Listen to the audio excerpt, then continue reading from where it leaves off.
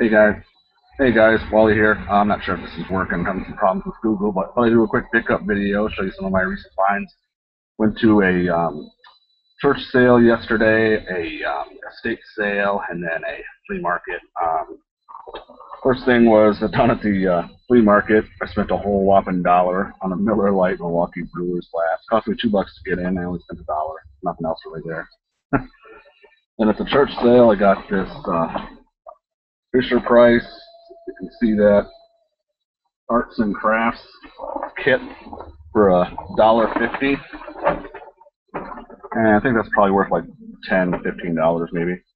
And I got this uh, Canon EOS Rebel TI um, camera with the flash in the bag for ten dollars. Probably not worth more than 20, 30, 40 bucks, but I would think for cameras, I like to pick those up.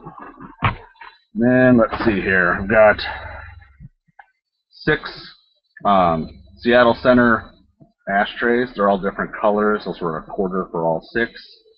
Um, got a little uh, Chicago Bears ceramic mug for uh, 50 cents. Probably sell that for two, three bucks. And I've got a, um, was it David Douglas little coffee thing here. For some reason, these sell pretty well, um, at least in my booth. Got that for a dollar. Probably put like ten, fifteen dollars on that. Um, let's see. Then I've got a couple little belt buckles here. I've got a Cobra CB radio, 50 cents. Um, I think those usually sell in the five, ten dollar range. And I've got a Meister beer buckle. Um, those I'd say in the 10 20 dollar range. Those 50 cents also. And let's see, then we've got a, uh, let's see, Betty Selby is the artist here for this. Uh, I paid a dollar for that. I've seen a lot of these um, in the 10 to 20, 25 dollar range. And let's see, then I've got a little cast iron rooster napkin slash letter holder. That was a dollar. I'm thinking maybe five, ten bucks on that. Um, and we've got a little syrup container. These sell really well. Kitchen stuff's pretty hot in my booth, so uh, that was 75 cents. I'll probably put like five, six bucks on that. Then see, I've got this little wet your whistle mug. For some weird reason, I find these all the time. They're pretty common, but um, just a little novelty souvenir thing that I think that people pick up when they're traveling. And um, you know, I put like five, six bucks on them in my booth and sell quite a few of them. It's like, um, it's got a little whistle in it. So, what your whistle. Then let's see, we've got a Big Ben alarm clock.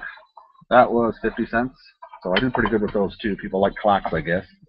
And then, let's see, this one I don't know. I thought I had this in a previous video, but I must not have. It's a uh, Kellen Winslow autographed football.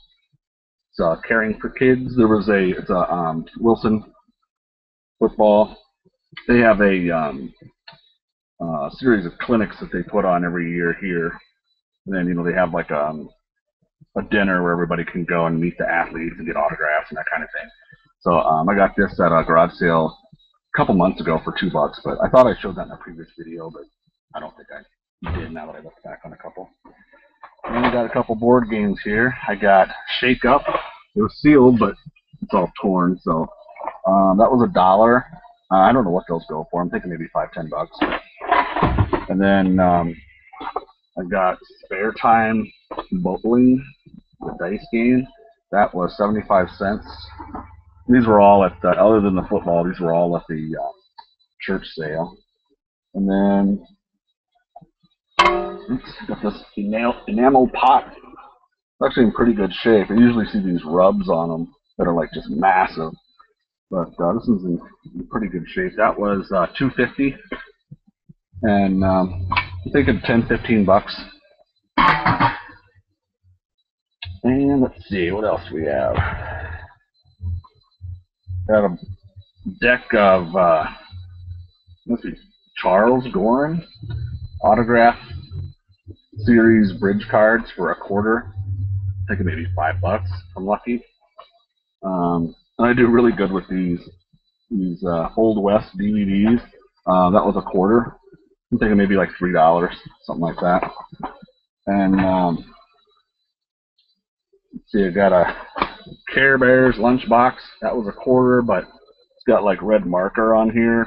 Um, if I'm careful, I can usually get that off. That kind of marker. It's not like a real, you know, like a Sharpie permanent. It's just kind of like um, I don't know. You can remove it. I usually use like a glue gun to take that off. So never know it was there. And let's see, then I got a little box of cameras here, a little shoebox, just a miscellaneous.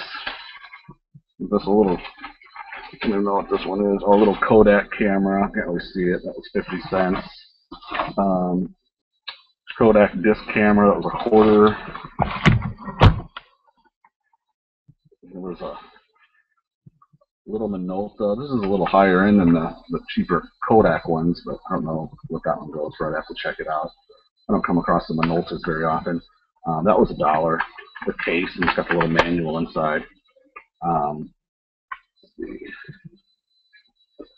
and we've got a little Nikon Fun Touch um, for a dollar. And let's see. Another Nikon a nice touch. That was a dollar as well. Um, some of these are, you know, they're a lot more modern than what I usually pick up, but I can